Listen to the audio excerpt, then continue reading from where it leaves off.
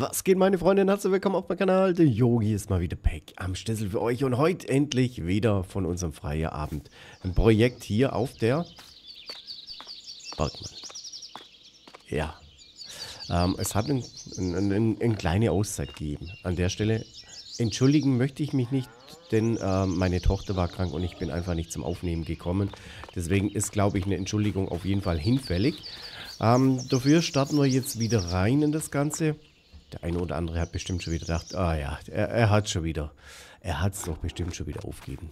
Aber nein, wir kämpfen uns wieder rein. Es ist nun so, wir sind nun im Dezember angekommen und was soll ich sagen, ähm, die, die, ja, ich weiß nicht, was da wieder schiefgelaufen ist. Ich, keine Ahnung, vielleicht habe ich da wieder ein Problem gehabt mit dem Vorspulen. Wir haben ja auf der 6 ähm, Raps angesät mit Fahrgassen und so weiter. Jedoch ist es halt so, dass wir nun in den Dezember reingehen. Zwangsläufig wird der Raps wahrscheinlich absterben, denn sowohl ähm, ja, die Aussaat und Erntezeit ist einfach hinüber. Aus dem Aspekt her dachte ich mir so, boah, es ist schon wieder es ist schon wieder am Gange und eigentlich, mm, ja, war ich schon kurz drauf und dran zu sagen, weißt du was, starten wir nochmal neu, ohne zu spulen. Aber dann dachte ich, nö, nö, wir fangen nicht schon wieder an mit diesen Themen, sondern wir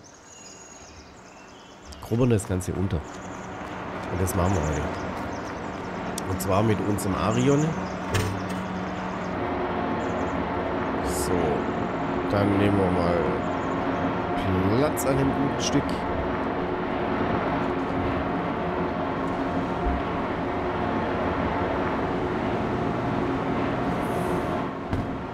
So. Handbremse lösen. Machen wir mal alle Licht an. Wir sind jetzt langsam im Dunkleren. Bei uns wird es jetzt langsam wieder hell. Das ist schön. Die Winterzeit ist sozusagen durch. Du merkst jetzt wieder merklich, dass morgens es heller ist. Hier wird es merklich dunkler. So, das heißt, auch hier werden wir nun mit der Horst drüber gehen. An der Stelle seid ihr mal wieder gefragt. Ich bin mir nicht sicher, würde man das jetzt einfach umflügen? Oder ist es so in Ordnung, dass ich jetzt das Ganze hier mit dem mit der Horsch mache, mit dem Grubber? Ähm, wie immer gilt, ich kann mir aktuell nicht selber helfen. Das heißt, ich muss halt einfach das machen, was ich gerade so denke, was richtig sein könnte. Jetzt muss ich gerade schauen, ich habe gar kein Gewicht dran, by the way. Machen wir erstmal kurz ein Gewicht dran. Wo habe ich denn die Gewichte?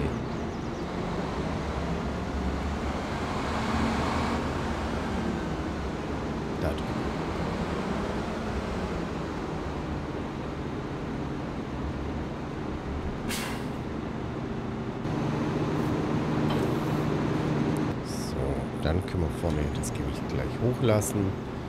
Ja, wir werden halt jetzt reinstarten an der Stelle. Vermutlich, wenn ihr das Video hier seht, müsste, glaube ich, Donnerstag sein. Und ähm, dann kommt der Freitag und dann würde ich halt wieder in den kompletten normalen Rhythmus reingehen. Heißt ab ins Wochenende und ab Montag dann wieder toi toi toi normales Programm. Ja, es geht halt nicht anders. Familie geht vor. Wer das nicht versteht, ist absolut fehl am Platz hier und der kann sich auch direkt wieder verpissen. Muss ich einfach direkt so sagen. Ähm, ja. So, also Türe zu. Einmal hinten hoch. Und dann können wir auch hinten zusammenklappen. Und dann fahren wir auf unser Feld.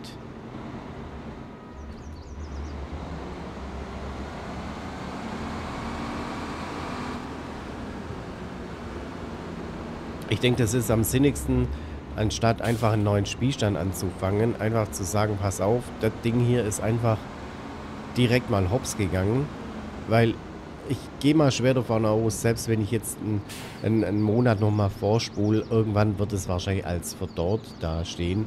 Zumindest handeln wir das Ganze nun so. So, dann können wir hinten ausklappen. Und dann versuchen wir das einfach beim nächsten Mal besser zu machen. Ähm, warten. So. Und los geht's. Mal gucken, was passiert. Okay, er macht es auf jeden Fall nieder. Das ist schon mal okay, glaube ich.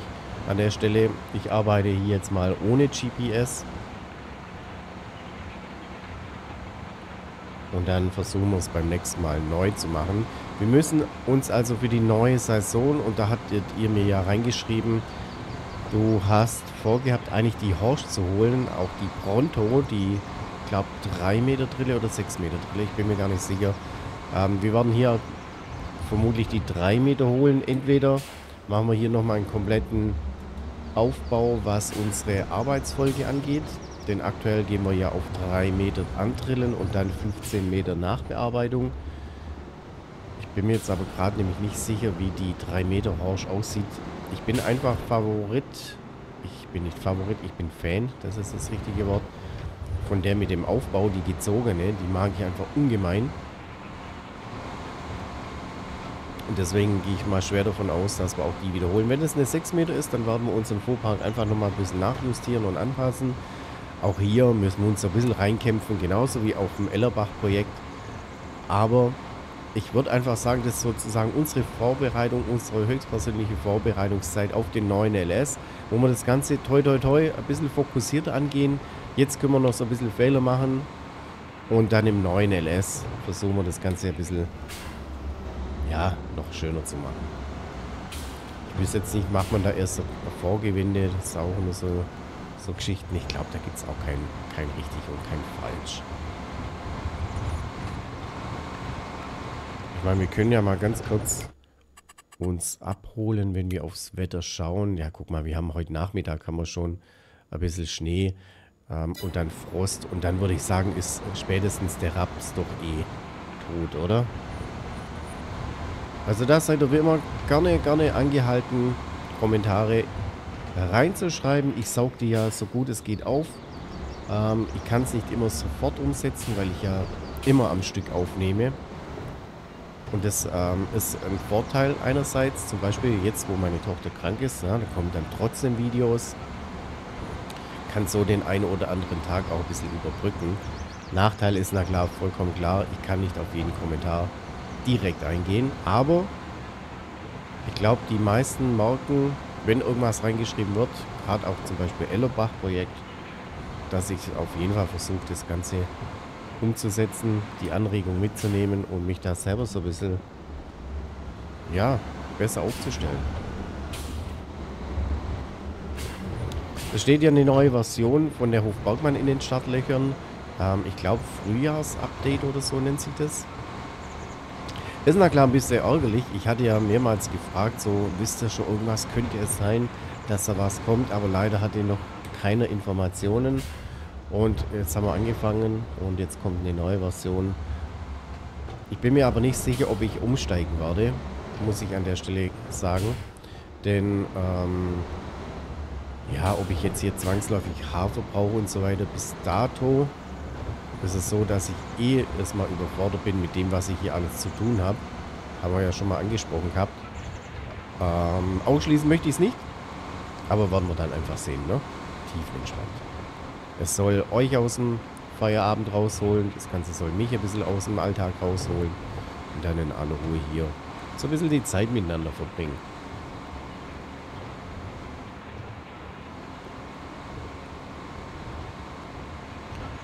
So, wenn wir das nämlich soweit durch haben, hätte ich nämlich jetzt fast schon gesagt, dass wir einfach den Winter durchspulen. Im Großen und Ganzen wüsste ich jetzt nicht, was ich im Winter hier großartig tun könnte. Mein Gemüse und so weiter, das werden wir dann wahrscheinlich im, im Frühjahr dann ernten können. Ist na klar jetzt auch nicht ganz so realistisch, ne, dass über den Winter zum Beispiel Äpfel wachsen und so weiter. Aber ich muss da aktuell noch so einen Mix finden für mich. Ihr habt mir auch gesagt, ich soll mal Seasons anschalten. Ich weiß nicht, ob das Einfluss drauf nimmt, dass zum Beispiel keine Äpfel über den Winter wachsen und so weiter. Das muss ich mich auch mal noch so ein bisschen reinarbeiten in das Ganze.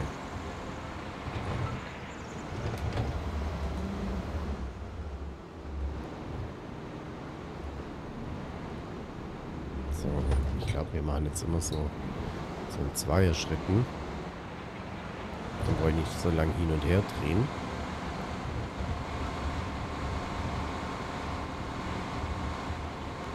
Auch hier mit den Fahrgassen möchte ich dann beim nächsten Mal ein bisschen besser machen versuchen. Da hatte die mir ja gesagt, eigentlich hast du das Problem nur mit der 3 Meter Drille. Ich glaube, mit 6 Meter sollte das wohl funktionieren. Das wäre einerseits die Lösung. Die andere Lösung wäre natürlich, das war zumindest ein Kommentar von euch, dass ich die Fahrgassen wohl nochmal danach ziehen soll. Auch hier werden wir sehen, da gehen wir einfach rein und gucken, wie das Ganze zustande kommt.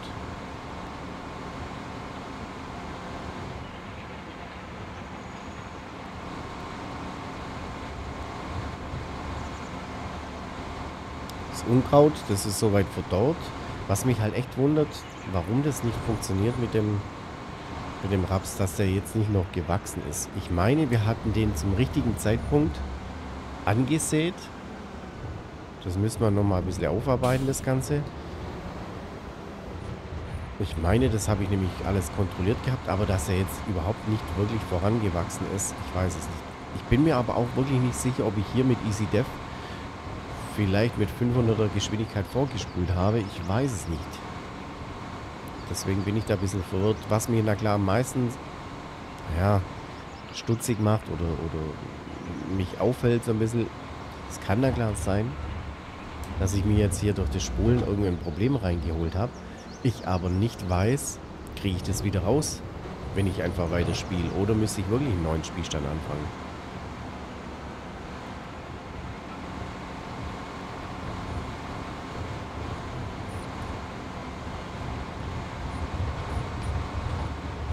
So, dann können wir nämlich alles winterfest machen. Und dann gehen wir sozusagen ins Frühjahr rein und werden dann das Ganze hier mal aufarbeiten, was wir hier so tun. Ähm, dann können wir nämlich, glaube ich, auch Kartoffel anpflanzen. Hätte ich jetzt zumindest mal gesagt. Muss ich na klar, jetzt können wir eigentlich auch gleich mal schauen. Ähm, mit dem Kalender, zack, und Kartoffeln, weil ich bräuchte die ja für die Schweinchen. Kartoffeln, Saatzeitpunkt, das wäre also auf jeden Fall schon mal gut. Das Problem ist halt, wir haben dann das halbe Jahr einfach nichts. Nichts zu tun sozusagen. Klar, ich brauche noch mal ein paar Felder, ganz klar. Aber ich würde sagen, ich konzentriere mich da ein bisschen auf das Kraftfutter, weil für die Kühe haben wir ja sozusagen unsere Mischration, wo wir erstmal zur Rande kommen. Ich glaube, das zumindest aus dem ersten Bauchgefühl raus könnte das soweit funktionieren. Das ist auch immer wieder so ein Punkt, wo ich mir denke, schreib dir mal so einen kleinen Fahrplan auf. Zum Beispiel, ganz primitiv gesagt, wir haben ähm, den März, du machst deinen ersten Schnitt, Grasschnitt. Daraus machst du das, das, das und das.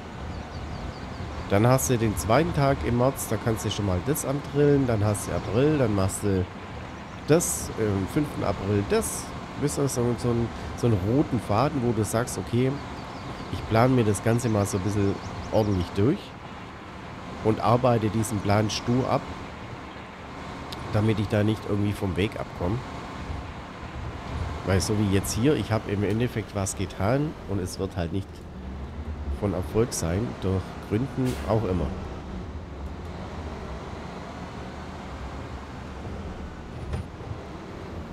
Die Bäume da hinten, nee, die mache ich aber auch noch irgendwann mal nieder.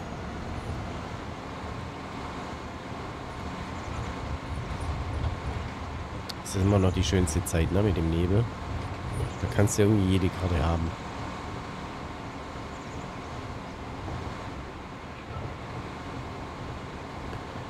Ja, das war halt... Das war irgendwie schlecht gewirtschaftet jetzt. Das war nicht schön.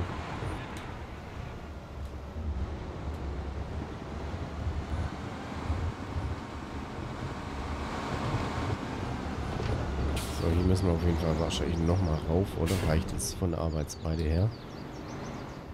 Machen wir mal noch ein ganz kurzes Bild, wenn wir eh schon gerade hier sind. Wir wollen ja für Instagram hier auch unseren Hof bewerben. Ist eigentlich schon schon schön irgendwie, ne? Ich weiß nicht, sollen wir mit, sollen wir ohne? So ist es doch gut. So ist ein schönes Bild. Ähm, übrigens mit Player Action Camera. Ich glaube, so nennt sich die Mod. Da mache ich meine Bilder immer. So, lass mal sehen, ob die Arbeitsbreite ausreicht. Könnte.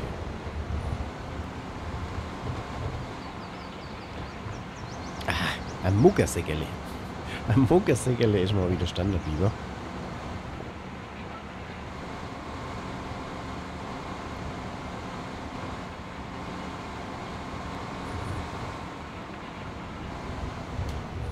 So, dann nehmen wir das Stück da oben noch mit.